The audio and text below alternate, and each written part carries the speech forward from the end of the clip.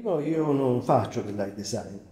Eh, in realtà mh, mi ritengo un artista che per una serie di curiose coincidenze ha cominciato a lavorare eh,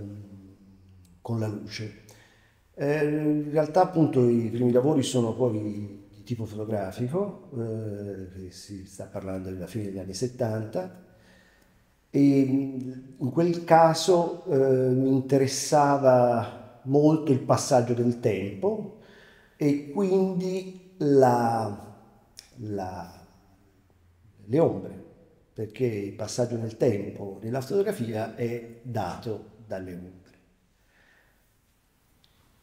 Da questo inizio eh, fotografico ho cominciato invece a lavorare direttamente sulle ombre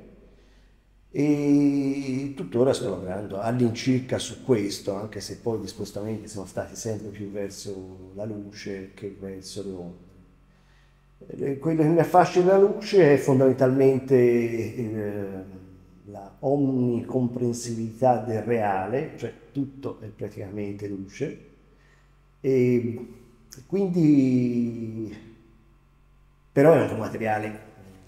possibile da apprendere, quindi è un materiale apprendibile, eh, totalmente evanescente, eh, molte caratteristiche per un artista eh, sono incredibilmente fascinose. Eh, diciamo è questa la, la, la cosa che mi, mi, mi appassiona più, l'imprendibilità eh, della luce e anche la, la, la difficoltà nel, nel, nel, nell'entrarci in interrelazione, perché poi la luce fa sempre quel che gli pare. E quindi all'incirca eh, avrà sempre l'ultima parola e farà sempre eh, grandissime sorprese e appunto una, una, frase che mi è rimasta molto impressa eh, del, di uno splendido libro che è il libro del Gombrich su Warburg eh, e in un, un punto lui scrive e mantenne così la sua capacità di stupirsi. Ecco, questo è un dono che mi dà eh, regolarmente il mio lavoro, non sempre positivo, ma spesso sì.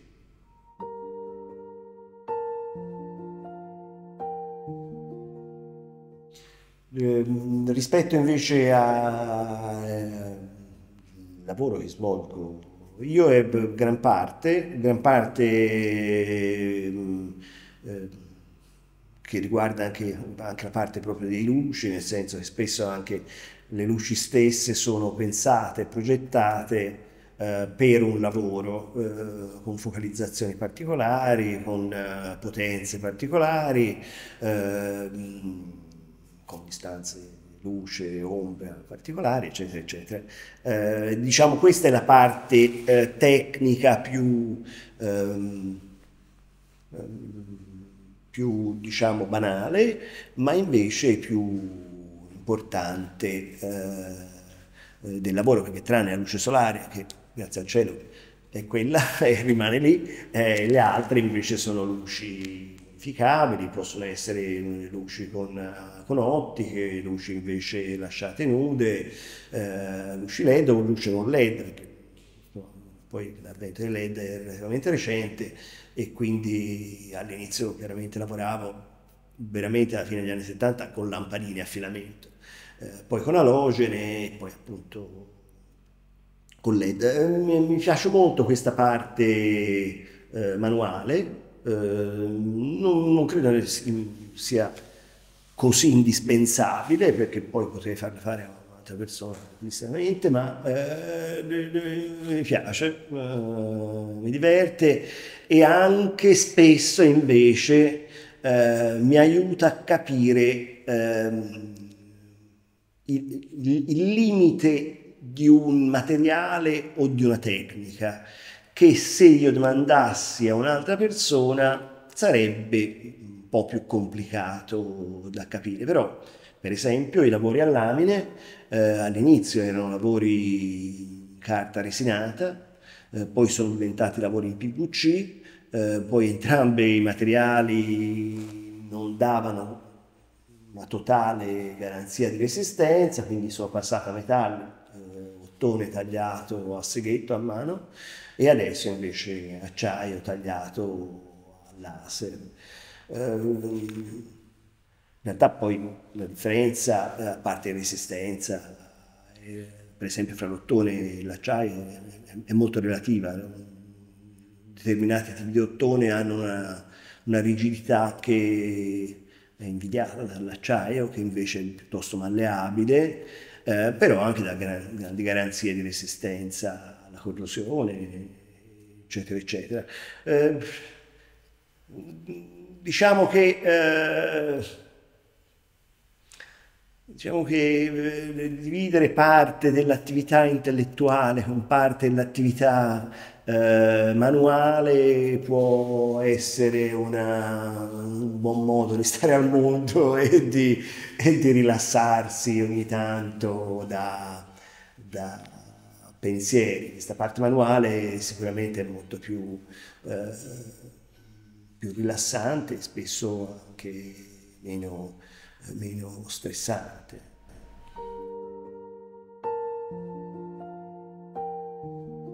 Sicuramente questo qui è una parte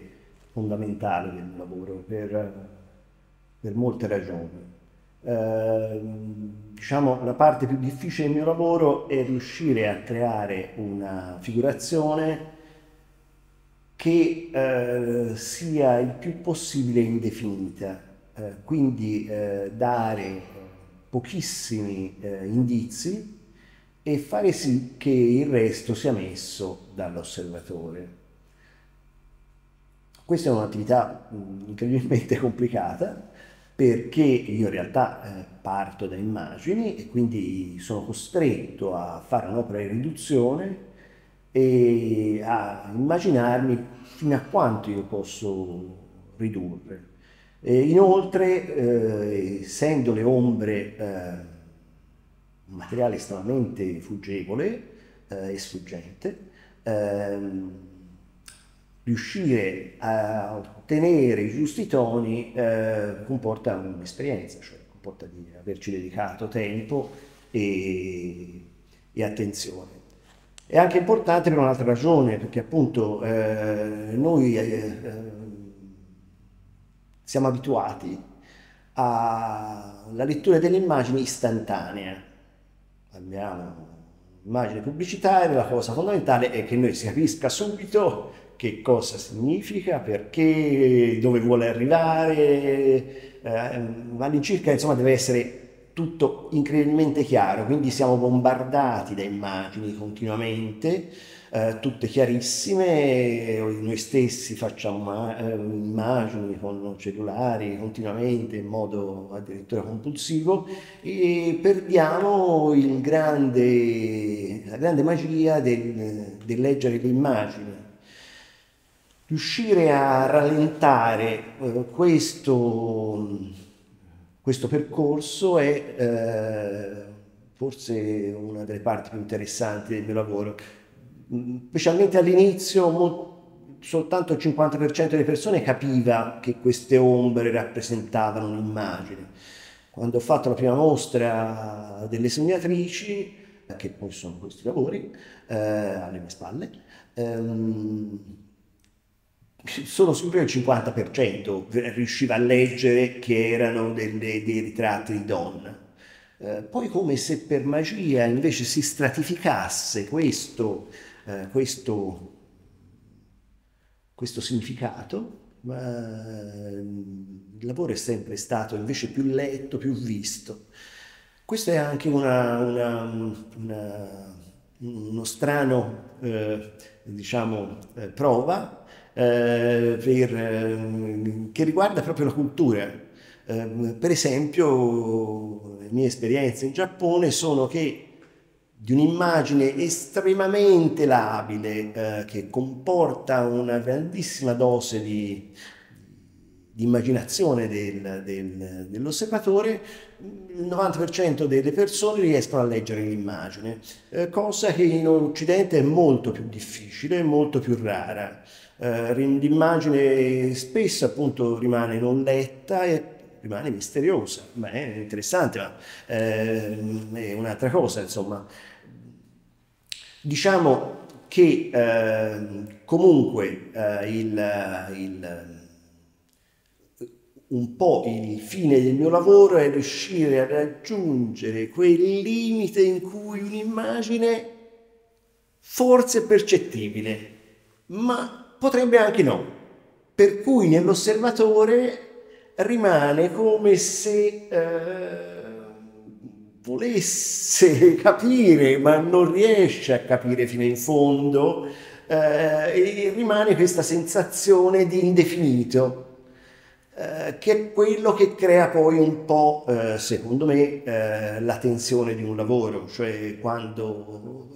quasi lo vedi, ma eh, forse no. Eh, rimane questo senso di, sì, si potrebbe dire di insoddisfazione, ma anche no, si potrebbe dire anche di indeterminazione, di, di come se questa cosa potesse essere anche un'altra. Ecco, questo, questo limite eh,